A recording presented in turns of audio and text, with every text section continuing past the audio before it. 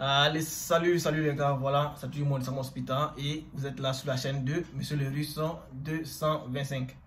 Voilà, donc euh, aujourd'hui, je voulais juste apporter quelques précisions, mais si c'est la première fois de ma chaîne YouTube, essayez d'abord de vous abonner, essayez de liker la vidéo, essayez vraiment de propulser un peu ma chaîne YouTube pour que euh, vos amis ou bien vos, vos parents puissent au moins voir euh, ma chaîne YouTube parce que ici je donne des informations et j'aide aussi à les postuler à ces, ces bourses là bien sûr. Et aussi j'aide vraiment euh, j'envoie vraiment des liens qui sont vraiment crédibles. Donc euh, ceux qui sont vraiment intéressés à pouvoir postuler vous pouvez déjà me contacter inbox. Il y a mon numéro là en description voilà pour que je puisse vraiment vous aider. Voilà donc comme je le disais je voulais donner un peu de précision sur les bourses et extensions au Canada voilà. Parce qu'il y a des personnes qui font toujours la confusion entre les bourses des sanctions et la bourse du, euh, du gouvernement canadien et tout ça. Donc, je voulais vraiment éclaircir certains points pour que vous puissiez au moins euh, chercher à voir quelle est la différence et postuler dans, par l'université ou bien dans l'université euh, qui vous est vraiment agréable et aussi à la bourse qui vous est vraiment très agréable aussi. Donc, ce que je voulais dire est très simple. Dans un premier temps, n'oubliez pas les gars, likez la vidéo. Quand vous suivez la vidéo, essayez de la liker. Voilà, c'est assez important. Voilà, donc, et bientôt, je vais débuter euh, les directs. Voilà, pour l'instant, il n'y a pas assez de temps. On va débuter les directs un peu plus euh, bientôt. Donc, euh, soyez toujours aussi connectés à mon compte WhatsApp. Voilà, parce que là-bas aussi, je mets des, des offres en statut et tout ça pour ceux vraiment qui veulent postuler et aller étudier à l'étranger. Voilà, donc, comme je le disais, pour pouvoir postuler dans une université, d'abord, ce que vous devez savoir, c'est que les universités, chaque université contient plusieurs bourses. Il y a des bourses qui sont destinées comme ça aux étudiants euh, canadiens et il y a des bourses qui sont destinées aux étudiants étrangers. Et quand je dis étudiants étrangers, parfois ils font la différence entre les Chinois, les Japonais. Il y a toujours des bourses qui sont destinées aux autres étudiants étrangers et les étudiants comme euh, ceux de l'Europe ou bien les Chinois et les Japonais. Vous comprenez? Voilà, donc euh, vous devez vraiment faire très attention à ce qui concerne les annonces des bourses, les appels à candidature et tout ça. Dans un premier temps, vous devez savoir que dans chaque université, il y a plusieurs types de bourses. Et la bourse, il y a des bourses comme ça qui prennent en compte que la scolarité de l'étudiant. Et il y a des bourses qui sont destinées que pour l'université. C'est l'université qui donne ces bourses-là. Vous comprenez un peu? Voilà, l'université donne ces bourses-là par des, par des circuits d'offres, par des circuits de euh, pour entretenir des noms de personnalités et tout, tout.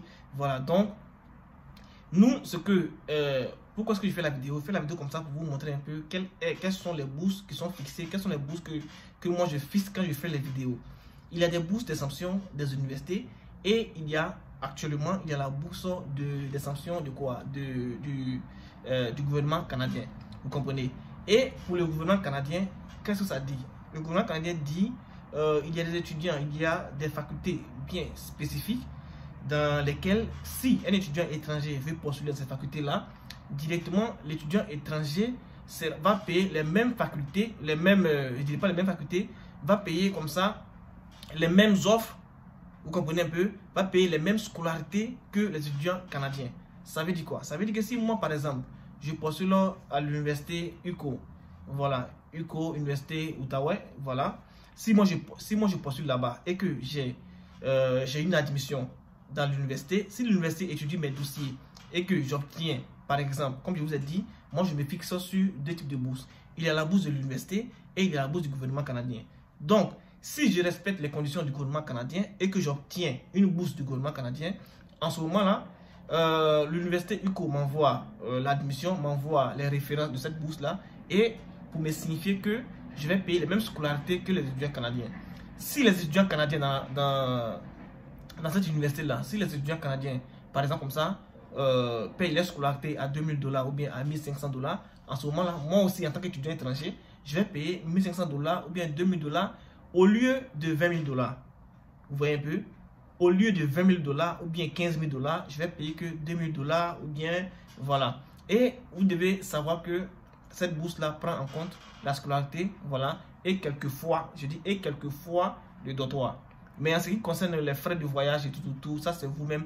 Au Canada, ne vous, vous ne devez pas euh, vous voyez la face. Au Canada, si vous voulez aller au Canada et que même si vous avez une bourse pour aller au Canada, les billets d'avion, tout ça, les visas, tout ça, c'est aux frais de, de l'étudiant.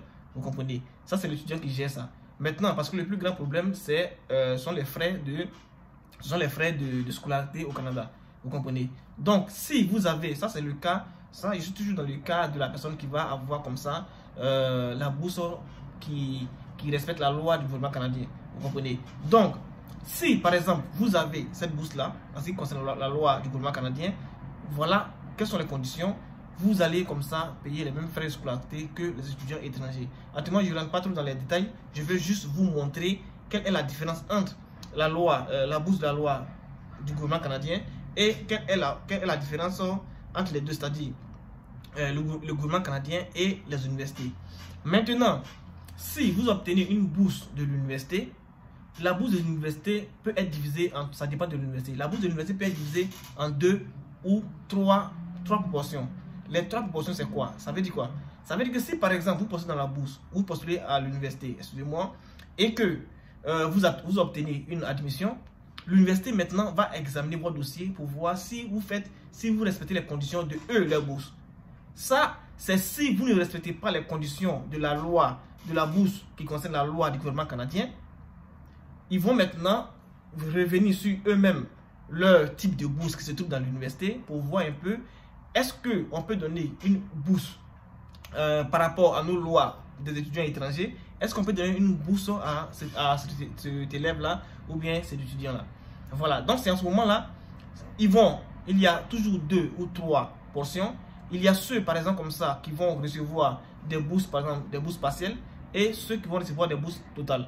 Vous comprenez un peu? C'est-à-dire, bourse partielle, ils vont regarder votre, euh, euh, ils vont regarder votre critère, ils vont, par rapport aux critères, ils vont regarder votre dossier et ils vont vous dire si vous recevez peut-être 30% ou bien 50% de, de ou bien vous recevez à 100%, à 100%.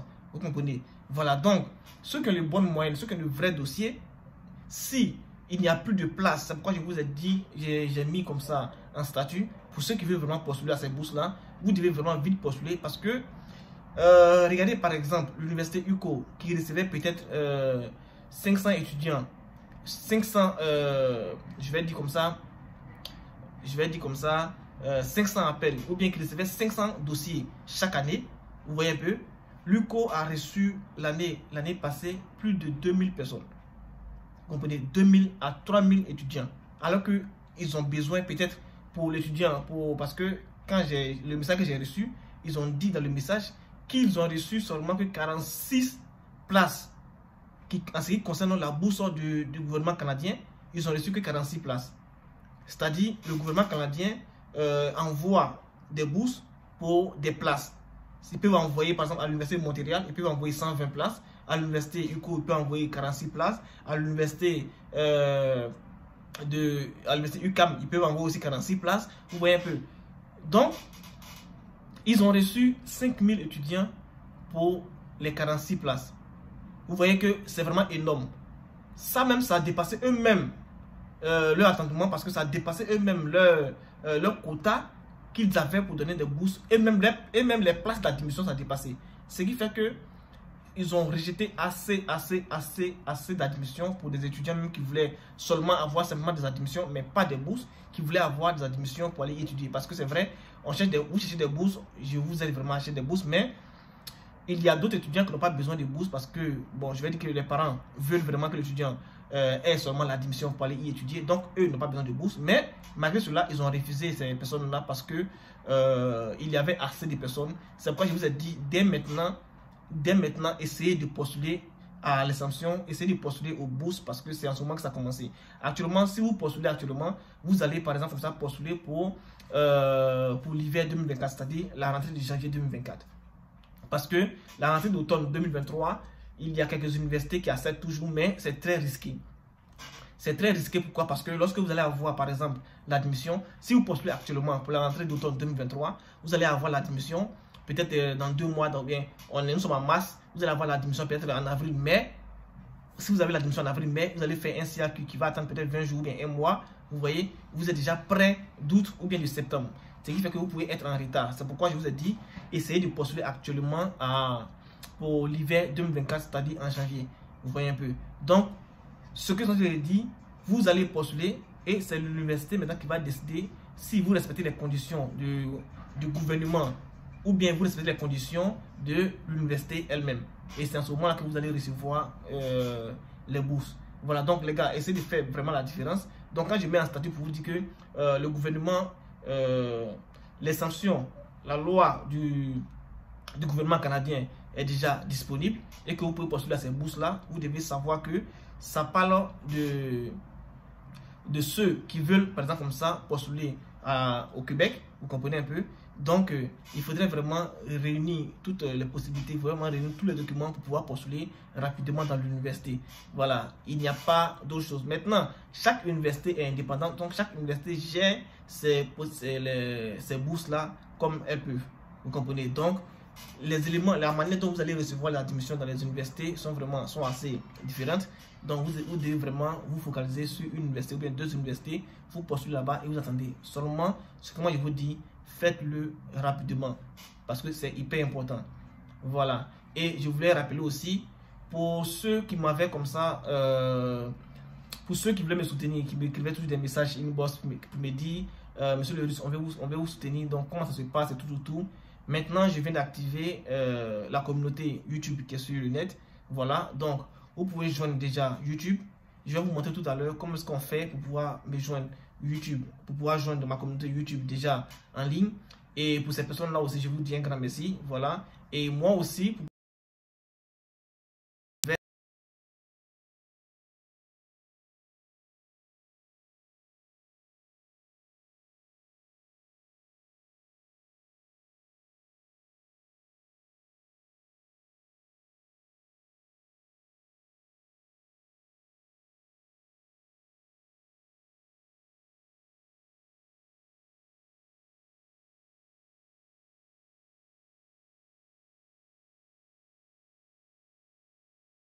la communauté et vous allez voir que la vidéo s'y trouve. Mais tout à l'heure, il y a des personnes qui m'ont demandé euh, comment est-ce qu'on fait pour rejoindre la vidéo et vraiment, ça me va vraiment euh, droit au cœur parce que euh, je, je, comprends que vous connaissez, vous avez vu un peu l'essentiel et l'importance de ce que je vous fais pour vous. Donc, c'est juste un grand merci que je vous dis. Donc, ceux qui veulent intégrer la communauté, voilà, faites-moi signe, je vais vous montrer la procédure ou bien je vais faire une vidéo ici pour vous montrer la procédure de comment est-ce que vous devez, vous pouvez aller, euh, vous pouvez rejoindre ma communauté, voilà, sur, sur YouTube. Voilà, donc les gars, c'est un peu ça, c'est ce que je voulais vous dire, et surtout pour soin de vous, et à tout à l'heure les gars.